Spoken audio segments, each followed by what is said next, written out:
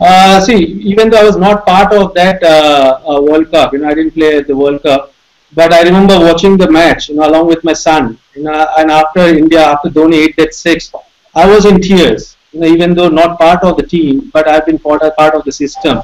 And then my son Sarvajit asked why I was crying, and I told such a big emotional moment for all of us who were part of the Indian cricket because all of us uh, wanted to live the World Cup. You know, 1983 was the last time we had won. So it was not only for the players who were on the park, they made all of us so proud, but all the fans of uh, uh, the Indian cricket world over wanted that so badly. So it was an emotional moment for all of us.